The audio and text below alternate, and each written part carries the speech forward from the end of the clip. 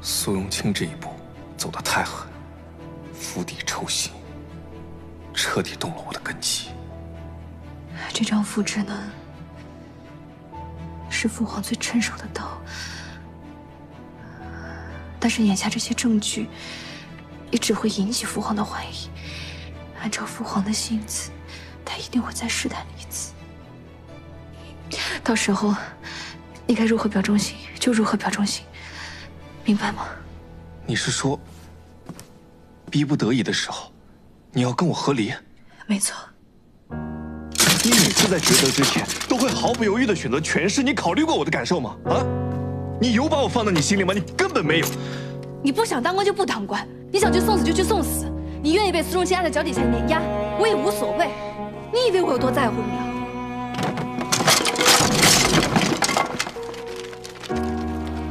我就是想出来爽快爽快，花船是我包的，男人是我请的，怎么不爽了？不爽就回去写和离书，或者。你也去吹风楼找几个漂亮姑娘，何必来我这找我的不痛快呢？你怎么能这么羞辱我？我就羞辱你，怎么了？你再说一遍。我就羞辱你，怎么？为什么？柯文山，你疯了？在干什么？你无耻下流！你怎么能这么对我？丽蓉，我也会难过。我也会妒忌，我没那么大方，我不喜欢你身边有其他男人，我更不喜欢你随时可以离开我的态度。对我说一句，我是在意你的？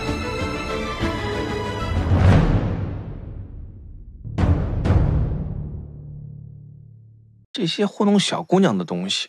我一个大男人有什么好信的？那你是干嘛的？只是遇到了你之后吧，这漫天神佛，我都想信一信。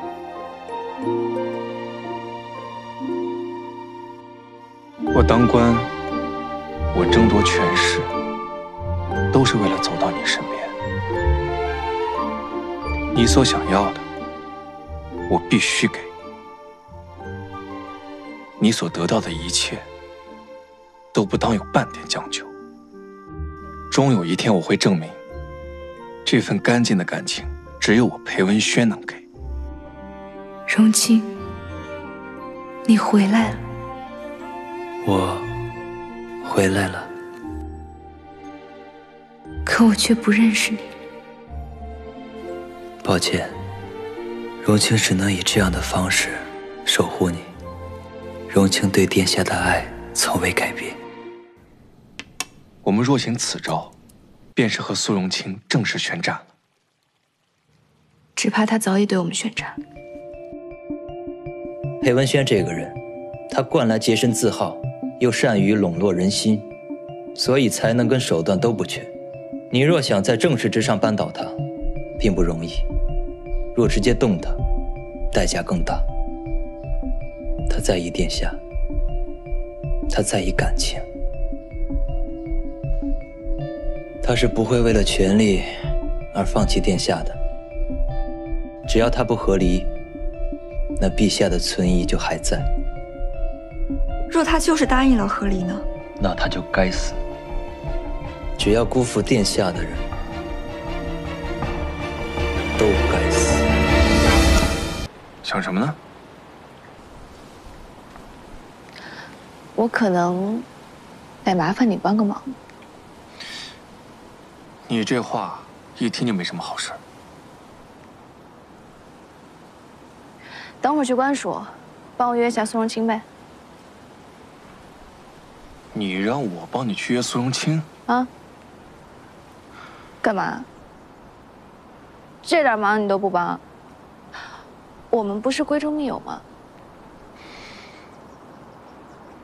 哼。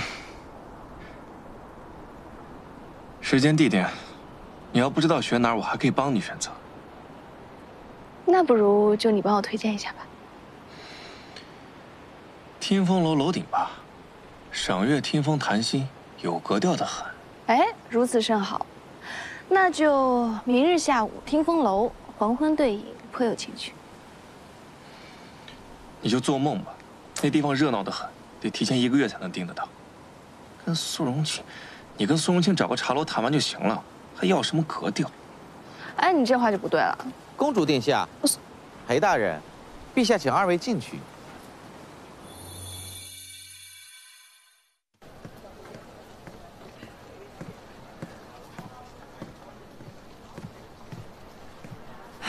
这么点小伤，弄这么大阵仗。殿下，嗯，我有个想法，或许有些冒昧，但只是个建议。冒昧就别讲，我还是讲吧。殿下下一任合适的人选，何不考虑苏荣清呢？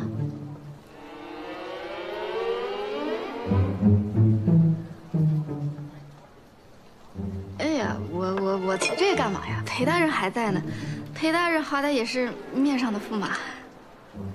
说呗，裴大人大度的很。是吧？是，上官小姐想说什么便说什么。我今日看那苏大人的神色，似乎也并非对殿下全然无意。要是能把苏大人争取到督察司来，这日后行事呀就方便许多。上官小姐这是何意啊？你看，还是冒犯到裴大人了吧？继续，我爱。感情是可以培养的，殿下要是不介意，我替你安排。安排什么？殿下的婚事不应当与这些事扯在一起。再说了，我和殿下的婚事已经是一场算计了，若重新选择，殿下不应重蹈覆辙才是。寻川，断手。是。不要！不要！啊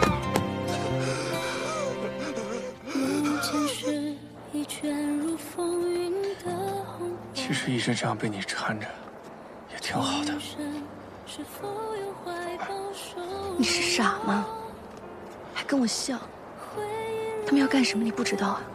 哎，你放心，慢点。都是我算的。你算着什么呢？你有没有想过？你二叔今日要是下死手，让人把你打残打废，我又没赶过来，你这辈子是不是就完了？哎，别生气，我都跟你说了，这都是我计划之中的事。你怎么没跟苏荣清去吃饭？我都跟他们吩咐了，别去打扰你们。你这人怎么？